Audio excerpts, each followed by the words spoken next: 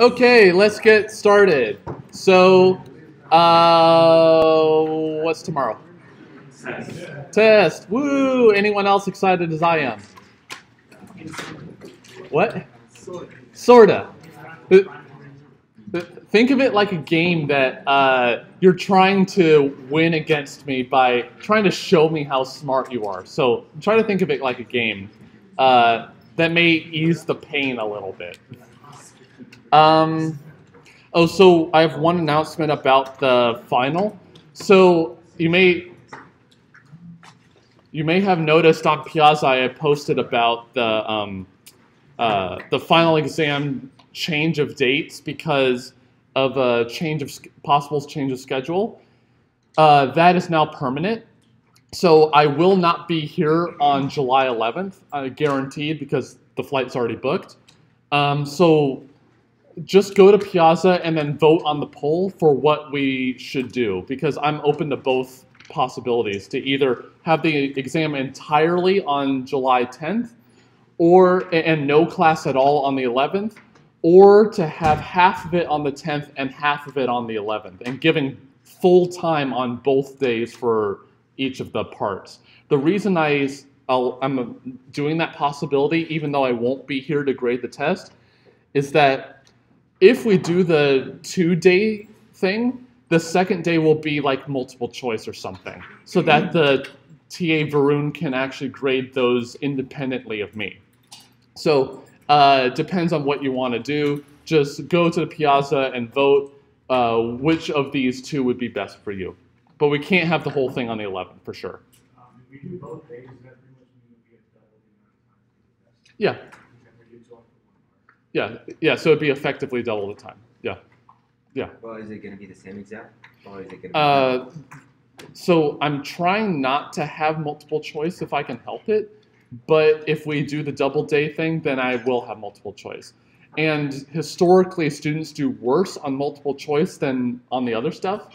So I don't want to go along that route if I can help it. But uh, if we do have the two day test, then that's the only thing I can really think of. Or maybe something that's easy to grade that's not multiple choice. It, it'll I'll have to see what is best and how the class does on the first test. Uh, other questions about the test tomorrow or the final, or anything in general? Uh, so only about constructing a DFA, uh, is only a graph enough, or we have to also write down the translation table? So you mean contracting the graph, making Yeah, yeah, DFA, if you ask that question. so like uh, making a DFA minimize? Is that what you say? Uh, no, uh, I mean, can I just uh, leave a graph without the translation, translation table? Or I have to render my translation table? I, I'm not sure what give a graph without the transition table means. Uh, I think he means the formal definition. yeah, yeah, Uh, oh, so like give a formal specification and not the transition uh, diagram? Is that what you mean? Yeah, yeah, you can do that too. So you're, you're never wrong by putting a formal specification on it. Uh, I'm not going to ask you that on the test because uh, that's not the point. The point is to be able to make the DFA in some way. So uh, if I give you a transition diagram, you should be able to convert it into a formal representation. But I won't ask you to do that or to actually produce the formal thing. Just the diagram is enough. Yeah, because you're limited on time anyway, so there's no point in like delving in formality. Whereas I'm trying to test the concept, not the formality necessarily. Uh, other questions?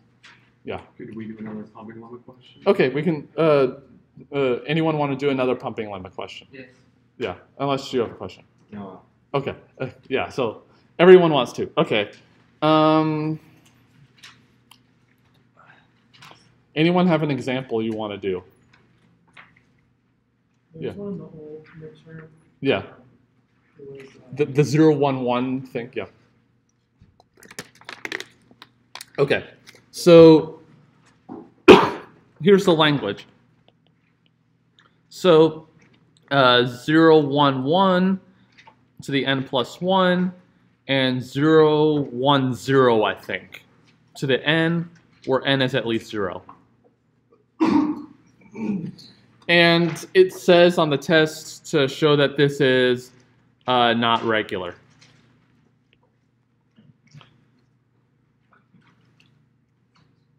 Okay, so um, what tools do we have to show a language is not regular?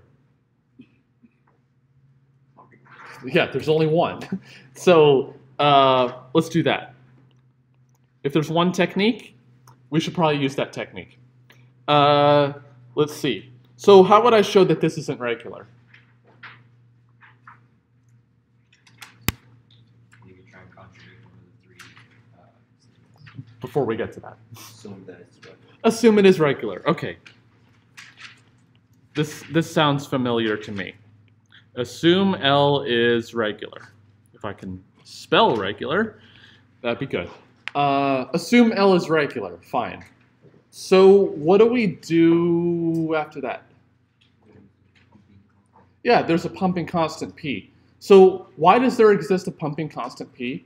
Just to refresh our memory of why why we do this sort of thing. What's that? Oh, we want a long enough string, but what does the P represent in the proof? So there exists a pumping constant P. I'll shorten it by saying there exists a P for L. But what does that actually mean? Instead of just like just writing it down like a recipe, there's a reason behind this. Yeah. The number of states. Right. Because we assumed L is regular, what do we know about L? In a in a DFA. So there's a DFA for L because we assumed it's regular. And the P here represents the number of states in that supposed DFA.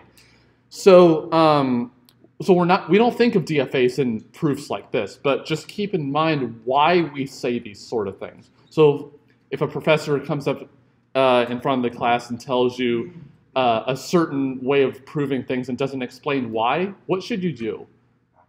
Ask, why are we doing this? Instead of just blindly going with it and just saying, yeah, that's the way we're doing things and we're never going to deviate from this path. So, why do we do this? Because we know from this first assumption there exists a DFA which has some number of states, P, and then we pick the string P uh, that has length at least P because we want the looping part in the DFA. Okay. So after this, what do we do? Uh, We choose a what? Right. Choose a string. Okay. So choose a single string. W equal.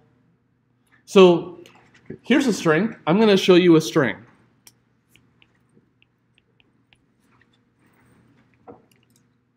Oh, uh, it's not in the language. Okay, I'll fix that. There, there's a string in the language. Is that a good string? No. No. Why is it not a good string? We don't know. It's not a length at least p. We don't know what p actually is. Uh, okay, so let's uh, let's avoid that issue. So then let's pick. Um, so so that string's not good. So zero to the p, one to the p. Has length at least p. Ha ha, fixture issue. Oh, it's not in the language. Why do we pick strings in the language? You see why I'm asking these things, yeah. Um, so that we can try and like prove that it's not like try and like prove that it's not in the language by. Um, Well, well, yeah, we'll show it's not in the language, but why does the original string have to be in the language? If it's regular, it's accepted by the DFA. It's accepted by the DFA because think about what the condition at the end says. That if we go around that loop as many times as we want, we still stay in the language. Well, if I go around that loop exactly once, then we get the string that we want that we have right here. So if we go around that loop exactly once, and then we eventually go to an accept state. So we must pick a string long enough, obviously, but it must also be in the language. So this string is not good either. So now you tell me, I failed twice. Tell me a string that works. 0, 1, 1, uh, and then we'll pick p plus 1 of them, and then uh, 0, 1, 0, and pick p of them. So it definitely has the length requirement, fine. and it's in the language because the number of zero one ones at the front is exactly one more than the number of zero one zeros at the back. Okay, so it, it satisfies both properties and we're all set. Does this guarantee that this string will work? No. All we need is to show that there exists one string that works. Could there be exactly one string that works and no other ones work? Yeah. So uh, it could be that this string doesn't work. It will, but it could be that it doesn't. Uh, okay, so that's great. So what do we need to do next?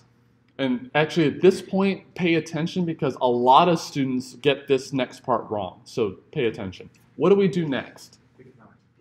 Oh, before that, the the decompositions. So, do we need to look at all decompositions into three parts or just one? All decompositions. So, so don't do what I'm about to do, okay? Just so you know. And I'll, in fact, I'll do it in red and say, don't do this. Okay? Don't do this. So I'm going to look at all decompositions because that's what we have to do. So let's look at x equal to 0, 1, 1 to the alpha. So mirroring the other proofs we did, uh, 0, 1, 1 to the beta. And then uh, z is, well, we have uh, p plus 1 to start with, uh, then minus alpha minus beta, and then 0, 1, 0 to the p afterward because we never touched those. So note, remember that x and y together have length at most p, so the x and y part are, are both contained within the 0, 1, 1 prefix. They never touch the 0, 1 zeros at the end. So we're fine there. Cool? What's wrong with this? Anyone but Andrew. Uh, P is not restricted. Well, well, uh, okay, well, uh, so I'll say that alpha is at least zero, beta is at least one, and um, and and we'll, uh, I won't avo- I won't uh, explicitly say w- anything about alpha and beta, but we know that x, y, whatever alpha and beta are, the total length is at most p. So so let let's not try to uh, uh, hammer on that issue. There's something else more fundamental. What is the length of x always for this decomposition? Pick alpha equal to 0. What is the length of x? 0. Pick alpha equal 1. What is the length of x? 3. Pick alpha equal 2. What is the length of x? 6. Can the length of x be anything other than, than a multiple of 3 in, the, in these decompositions? But could there be a decomposition where x does have length 1 or 2 or 4 or 5? Could x have those could x have those decompositions? We need to treat all decompositions. Okay? Could x have length 1? Yes. It doesn't have to have a multiple of 3. This is just a these things in the language are just strings. They they're not subdivided into length 3 substrings. So it's a literally a red herring to say that x is always a multiple of 3 in length and y is also a multiple of 3 in length. It could be that x has some multiple of 3 and one additional character or two additional characters. So in fact, there are other cases that this does not cover. So it could be that x is 0, 1, 1 to the alpha with a 0 after it. Or uh, x is 0, 1, 1 to the alpha and then a 0, 1 after it, but not the next one. Okay? So these three cases are possible. And independently, y also has three cases because y doesn't have to be a multiple of 3 in length. It could be a multiple of 3 and one character or a multiple of 3 and two characters. How many possibilities in total is that if x has three possibilities and y independently has three? What is 3 times 3? 9. Do you think we want to deal with 9 cases?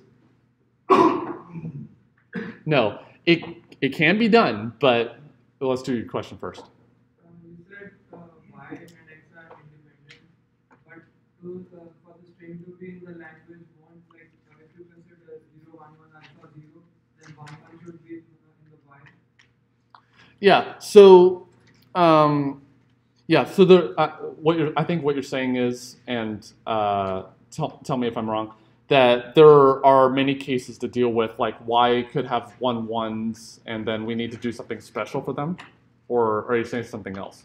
I'm saying it's dependent on the- the- what string you choose for x. It's dependent. Right. Yeah. Yeah. So if uh, x falls evenly with a multiple of three, then y must start with a zero, but then y has three choices. If x falls on the zero and then the y starts on a one, then three choices there. Yeah. So there are, there are many things we need to be able to worry about because y could have multiple things of what it starts and ends with. So it can be done. I'm not saying it's uh, impossible to do, but I don't think you want to deal with nine cases. Okay? So let's think about it a different way. So let's see. D- doesn't matter. Let's think about annual decomposition at all. So it doesn't matter what the decomposition is, but what is the length of y at least always? I'm literally holding it up. One. So y's length is always at least one. Well, think about it in the extreme case where y does have length exactly one. Well, it could be that y is the zero is one of the zeros in the first part, or it's a one in the first part, or the other one. But it is zero one one repeated, so it doesn't matter which zero we consider or which one we consider. It's one of those two. Well, what if I take out one of the zeros in the in that first part? What happens to the number of zero one ones? If I take away a zero, and maybe other things, but I take away at least one zero, what happens? Not the language. Uh, no, no. What happens to the number of zero one ones? It changes. Namely, it goes down. And then for that reason, we don't have exactly n plus one number of zero one ones. It maybe it's less, but we don't know the exact number. Uh, what if we delete? What if y instead was one of the ones instead? Would the number of zero one ones change also if we dropped it out? Yeah, that would change too. Oh, so no matter what the decomposition is, pump down, take out that copy of y. Then no matter what happens, the number of 011s must go down. And so, therefore, we can't have exactly one more 011 thing at the front than the number of 010s in the back. Okay, does that make sense?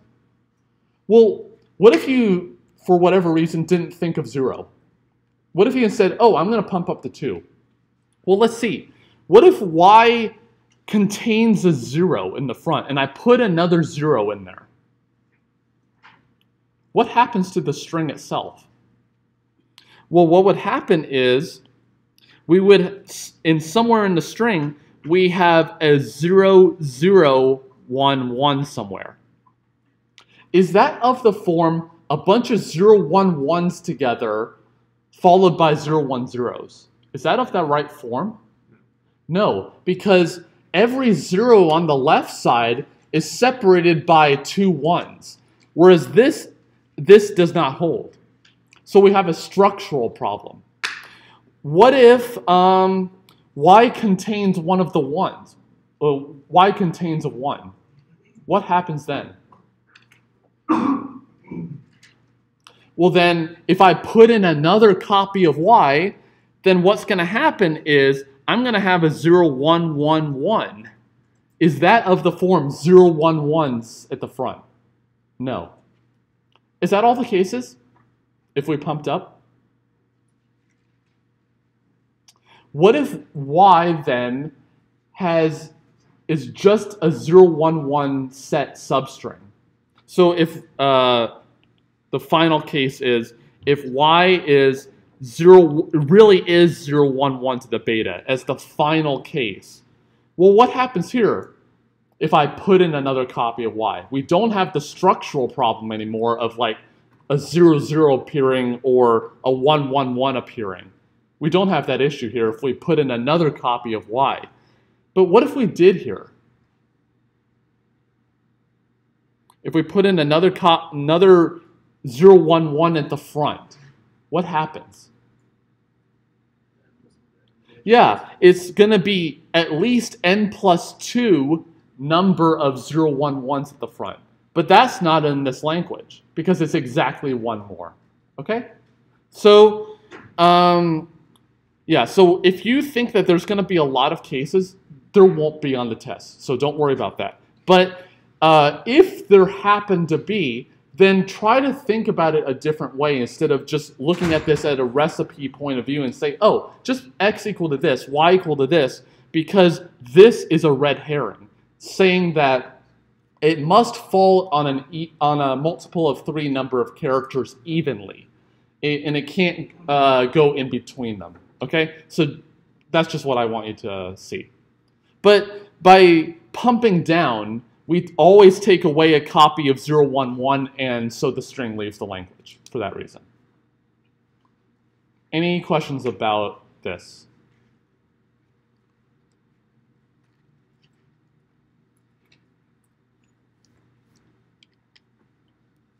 Okay, any other questions? Yeah, So what was the solution to this? what do you mean? Uh, don't you have to choose like a particular i value? Yeah, uh, we picked i equals zero. Okay, The, the solution to this is in, is in the sample test, by the way. okay. Yes, but we picked i. So in fact, any value other than one will work. If we picked i equals zero, it's the easiest one.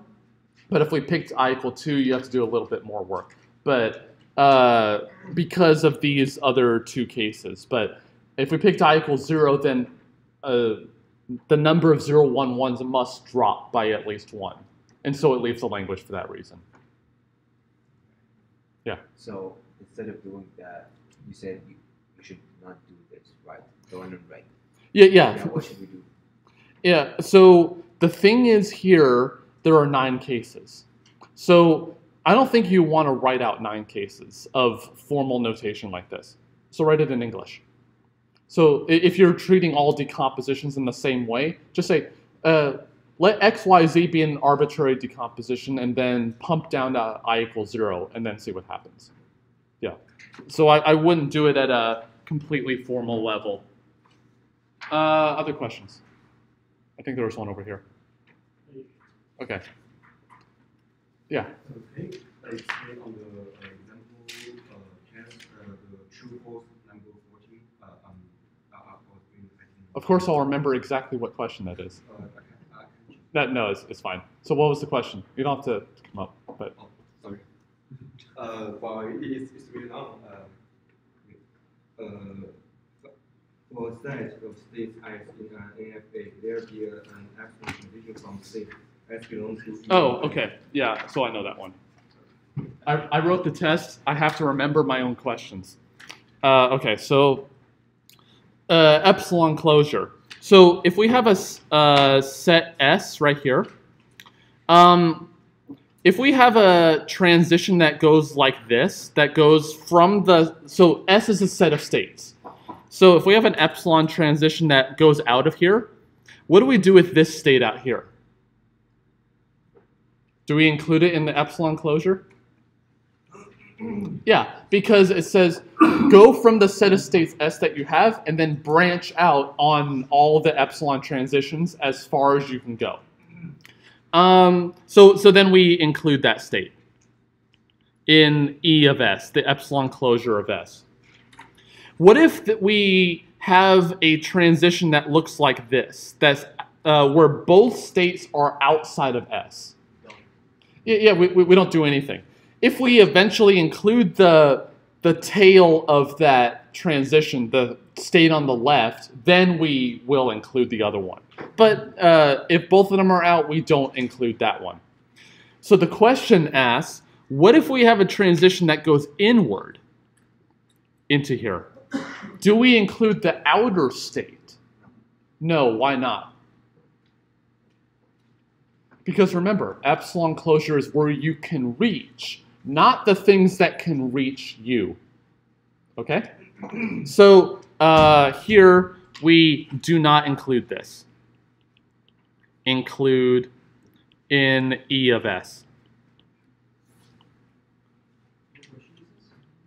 It's from the practice test. Uh, I forget which question. I think 14?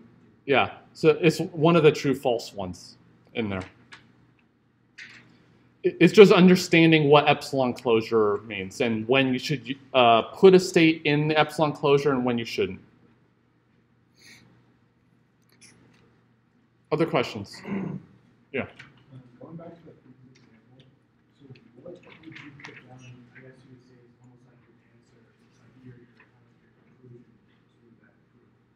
to Yeah, so I equal. Uh, I mean, I would look at the sample test for the conclusion, but what you could say is um, uh, pump down to i equals zero, and then so the number of zero one ones must drop. So the resulting string cannot have exactly one more zero one one at the front than the zero one zeros in the back, and so th- the resulting string then cannot be in the language, and therefore it isn't regular. That's that, that's a way you can end it. So remember, it, it's not like um, 243 where you just write down a formal process, write basic step, inductive step, and then completely formal notation, and then uh, then the proof is done. That's not how we do things here. We try to communicate the proof in a concise but formal way so that the person can understand it also.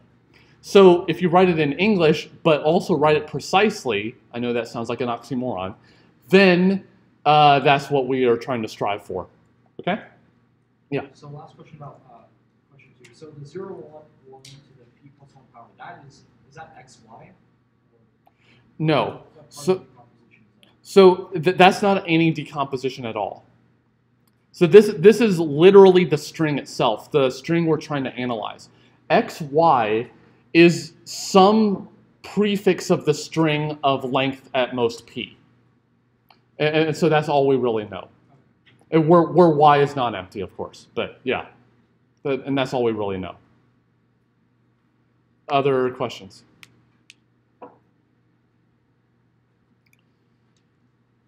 Okay, so what have what are we starting to talk about last time?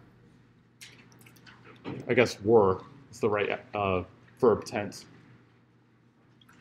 Chomsky normal.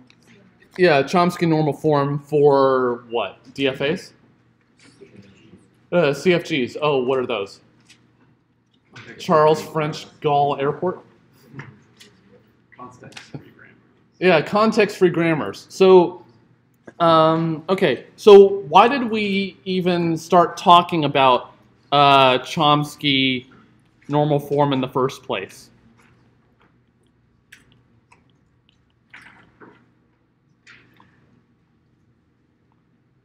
Too much silence. Yeah. We wanted to avoid ambiguous terms.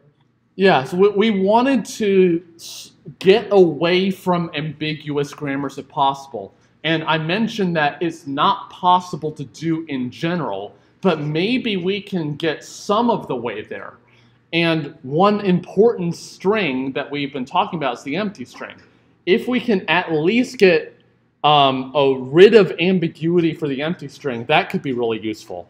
But along the way, we also showed that if we want a grammar in, in uh, CNF, in Chomsky normal form, then if I'm not generating the empty string, then every variable that I'm going to generate must generate something of the string because we guarantee that these other variables are not the start variables. So there's no way to get them to not generate the empty string. So what is CNF, the definition itself?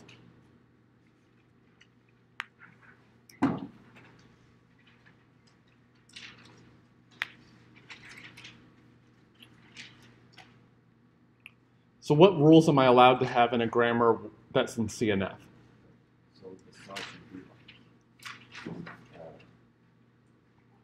uh, the start has epsilon. Yeah, so we're we allow the start variable to generate epsilon, so we're allowed to do that because we we got to get that string somehow. So we're letting you do this one way.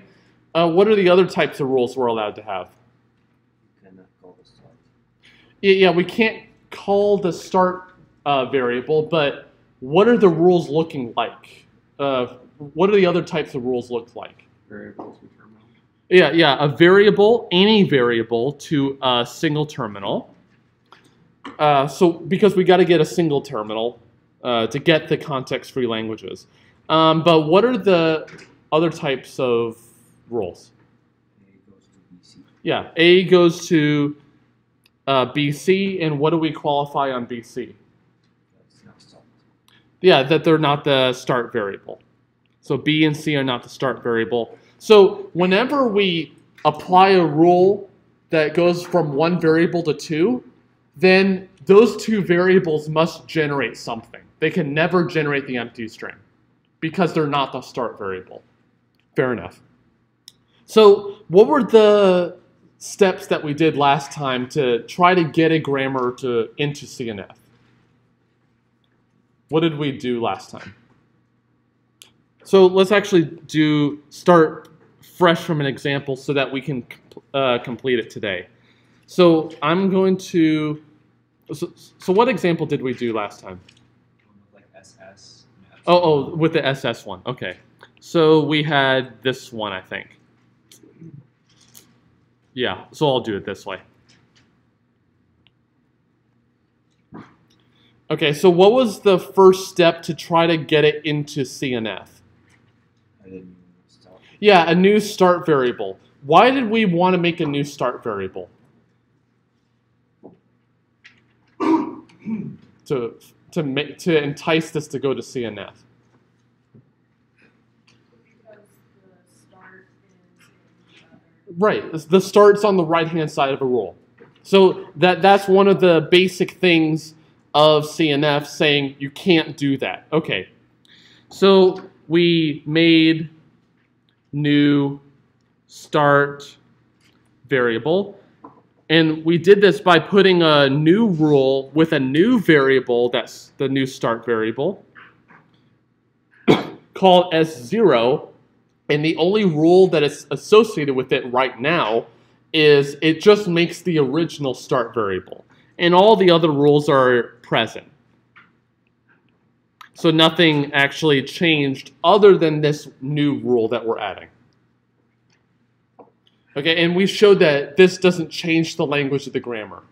Because if we change the language of the grammar along the way, I can't claim that we can convert any CFG into CNF, which is what we want to actually show. Okay, and then what was the next thing that we did to get it closer?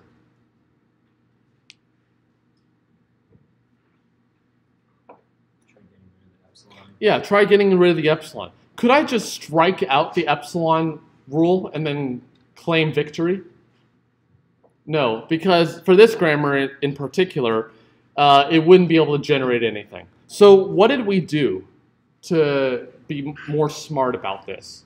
Find all the ways. Yeah. We plug in epsilon where the S's are on the right side. Yeah. So yeah. So we saw. Oh, S can generate the empty string. So any place where S could appear, let's simulate the possibility that it could have went to the empty string with another rule in which it does directly. So we don't have the S to epsilon rule. We're simulating it with other rules. So uh, is it enough to just say S can generate the empty string? What else can generate the empty string? In this grammar. S0. Why? Right, because the it's only the rule associated with it has only variables on the right side, and each one of them can make the empty string. What did we call variables that can make the empty string here? Nullable. So we uh, So our goal was to eliminate the epsilon rules. And we created this list of nullable variables. And in this case, both variables are nullable. Because S directly makes the empty string, whereas S0 indirectly through S can make it. Okay, so uh, I'll try to attempt to recreate the grammar that resulted. So it was, we get rid of the S to epsilon rule when we're done. So we have this, or uh, just the single pair with no variable on the inside, or SS. I think that's the grammar we ended up with. And correct me if I'm wrong. Okay. Is this grammar in CNF? No. No. What's wrong with it? Yeah, a lot of things. Uh, ever encounter a situation where there's so much wrong with it that you just have to start over? Uh, we're trying to not have to start over here, thankfully. So, uh, what is one thing in particular that's really wrong here? There's terminals and variables. Yeah, there's terminals and variables on the right side, but we actually talked about a way to fix those uh, uh, last time, which was to make a variable for each of the terminals and have and replace the original occurrences of them with that new variable and then the new variable makes the single terminal. So it's like an indirect way of doing the same thing. So we can fix that. But there's a an- another issue with the S0 variable. What is it? Well, it's not the epsilon rule because that's okay. What else is wrong?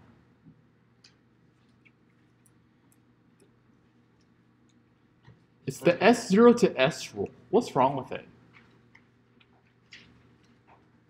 What is CNF allowed to have on the right side? Single terminal or two variables. Did I say one variable? Oh, this is one variable. So this thing here is called a unit rule. So a unit rule is exactly one variable and nothing else on the right side. Okay? What do we want to do with unit rules to get it closer to CNF? I mean, it's exactly what the other thing is. You can just put it up there all because it's the same thing directly. Yeah, we'll get to that. But but in general, what do we want to do with unit rules? Eliminate them. Thank you. So we want to eliminate quotes uh, unit rules. What if I just deleted it outright? What would be the language of the grammar? The, the empty string, because that's the only rule, of course. I can't get down to S. Okay, so we gotta, again, be smarter. So the suggestion was, oh, well, couldn't we just copy the rules corresponding to S upstairs? So just copy the three rules with S to where the S is upstairs. Would that be okay? It seems reasonable. And in fact, it'll work. So I'm actually going to do something kind of smart and you'll like me more because of this. I hope you like me. Um, sound desperate? okay, so if we do this, then I could write all three of these out again, but with the magic of simplification, do that. Are you impressed by that? I hope you're impressed by that. Or epsilon. Okay, so we can just copy rules around. Okay, so um, yeah, so here's here's an issue with this. What if we have more variables and the grammar's more complicated? And by more complicated, I mean uh, we have a variable a which goes to b, and then somewhere else another rule, which is B goes to A. What do we do then? So there is a formal way to do this, but I'm sure you probably don't want to delve into that sort of thing. So what would you do if you see a, a cycle like this, which A goes to B and then the other way? What would you do? What you would do is, let's just say we're copying the B, the rules corresponding to B upstairs to where the A to B rule is, to fix the unit rule on top. Well, what we're going to get is an A to A rule. Should we get rid of that? Yeah, if a variable just makes itself and is not useful, there's no point in keeping it. Okay? So what you can do is you can copy everything up except and then delete that extra rule. And then what do you do? You copy everything back down and then delete and then delete duplicates, as the case may be. So uh, that's actually a very simplified way of saying what the formal method actually does. But all you really do is you just copy rules around. Uh, and then all we're really doing is we're simulating the unit rule through other ones. Just like the epsilon rules, we're just simulating it with another one. Do we change the language by doing this, though? Well, let's think. If we use it in a derivation of a string, we use one of those unit rules in the original grammar. Well, what do we do here? We're replacing it by another rule that the, the variable it would have generated would have generated itself. So we're shortcutting it by, instead of applying the unit rule and then the next rule after that, we're shortcutting it to the, the rule after it. So in fact, we don't change the language as a result because we're just simulating one rule with another one. Okay, any questions about how that works? Great, so we don't have um, start variable on the right side anymore, which is which is one of the thing, one of the tenets of CNF. We don't have epsilon rules other than possibly the start variable making it, so we're done with that. We don't have any rule where there's exactly one variable on the right side and nothing else. Do we do this when we have one variable and one terminal on the right side? Or do we only do it with one variable and nothing else? So if I have a rule like uh, A goes to little a capital B, do I do this unit rule replacement with that rule? No. What is a unit rule? Yeah, so it's exactly one variable. Uh, do I do this replacement when there are two variables on the right side? No. So, in fact, we only do it when there's exactly one. So, what is the situation we have now? The situation is um, if it's just variables on the right side, there's at least two of them because we got rid of the ones that have exactly one, which is great. Um, what if, could we have a mix of terminals and variables though on the right side? Yeah. Uh, in fact, we have uh, several of them. So how do we fix those? So uh, fix right-hand sides that are mixed. And by mixed, I mean uh, terminals and variables on, on the right side. So, so what, do we, what would we do here in this grammar? What, what would we do to fix the rules that have the left S and the right? What would we do there? Create variable. Yeah, so we would create a variable that makes only those terminals and then just replace those terminals upstairs with those uh, variables that we just made. So let's actually do this. So I'm going to make two variables called, um, yeah, let's do u and x. So I'm going to, sorry, I'm going to pick be uh, better variable names, which is what you should do in your programming too. Um, I'm going to have L make the, le the left one and R make the right one. And then what do we do upstairs? we replace the occurrences upstairs. So we would have LSR or LR or SS. And then the S0 has the same thing or epsilon. Great. So uh, all we're really doing is we're substituting terminals for a variable. Does that make sense? What if we had a rule like this? A rule that uh, a variable makes the left one. And let's just say I'm going to replace that with the corresponding variable because that's what the method said to do. Should I do that? No. Why not? It's already in the, in the format that you wanted to. Oh, what are we reintroducing by doing this? A Unit. A unit rule. So we should only fix the right-hand sides when we have a, the right-hand side length at least 2. So if they're, the length of the right-hand side is at least 2, then we do the replacement. If there's only 1, then it must be a terminal because we got rid of the variable ones. So if there's just one terminal, leave it alone. Don't touch it. Because we don't want to reintroduce unit rules. Okay?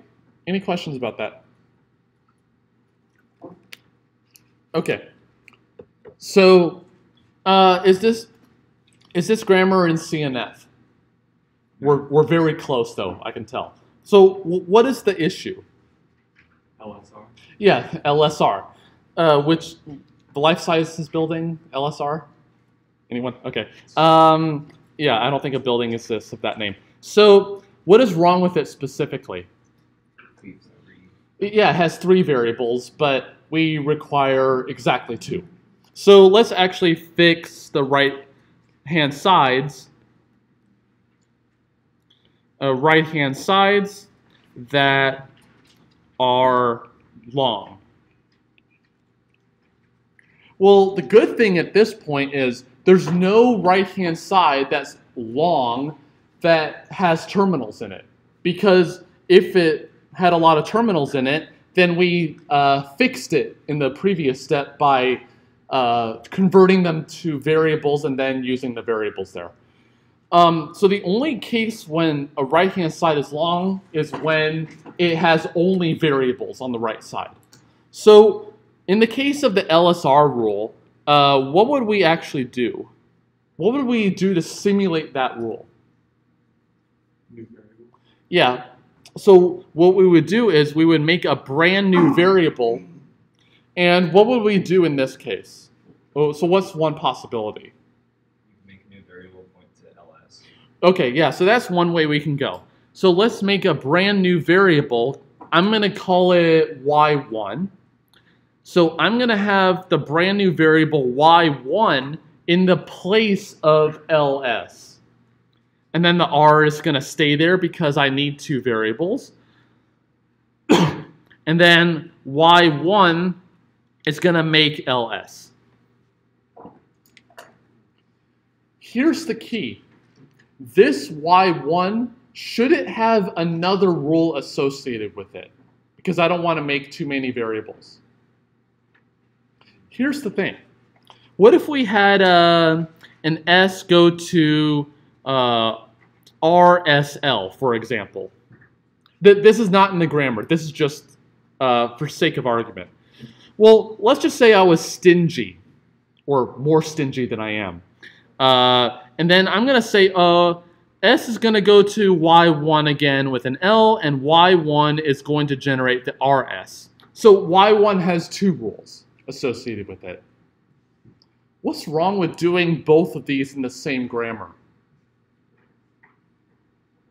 Well, let's see. Look on the left. Would the S go to Y1R? Could I apply the RS rule associated with Y1?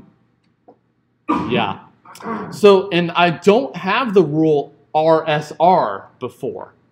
So then I'm actually changing the language of the grammar as a result. So what we should do is if we see a rule of, of a certain type like RSL, I'm going to make a brand new variable each time. So I'm going to make our uh, y2 instead of y1. So whenever you make a brand new variable here, make sure it only corresponds to one rule and no other ones. Okay, great. Um, what if we have a right-hand side that's really long? So like um, LSR, LSR, as an example. What would we do here? There are actually a lot of things that we could do. But what is a straightforward algorithmic way to do this? And I promise we'll break after this. Can we split it in half? Uh, you can split it in half, but I want this to be algorithmic, and I don't want to have to look at the right side to figure out what to do. What's that? Yeah, yeah, we can do the leftmost ones. So we can replace, say, the ls by y1. And then what do we do? We have s goes to y1r, lsr. And then what do we do after that? We can say, um, then these two are going to correspond to y2. So then we'll have the rule uh, S goes to Y2 LSR, Y2 goes to Y1R, and um, Y1 goes to LS. So we can um, chew our way through the right side one variable at a time and add a new variable at a time. So if you look at this rule, if you want to apply it, then you're going to have a y variable on the right side, but then you're going to be forced to go through this chain of rules until you pop out the other side. So it's effectively doing the same rule, but just with a lot of other rules. Okay? Does that make sense? If it doesn't make sense, ask. So why can't you do LSR? You- You can. So, um, for the purposes of algorithmics, um, it would be better to have a simple procedure that works in all situations. But if you wanted a small grammar, you're right. I could split down the middle, put the same variable on the both sides, and have each one make LSR and then deal with that at the end. But um, I want this to be algorithmic. But you're absolutely right, we can. Yeah. What's the purpose again of having only two rules on the right hand side? Two variables on the Two- right side? two variables because I can't make it any simpler than that. Because if we just have one variable, we're back in regular grammar land. So we got to pick at least two, and because of this, we can get exactly two. But another reason is when we actually will show that some languages are not context free, we want to know the structure of the parse tree itself. And by knowing the structure, we know that each node will have exactly two children, which is what it is here. So there are many reasons why. Uh, other reasons, yeah. So this uh, Chomsky normal form only gives us CFGs that aren't regular. No, no. So we can apply this with regular grammars too. Think about applying uh, this this five step process to regular grammars. Is there a step we can skip? Yeah. So the step five, if we apply it with a regular grammar, we can skip step five. Because with a regular grammar, there's no long right hand sides. But we can apply it with a regular grammar in the same way. Because it- it's the same structure essentially.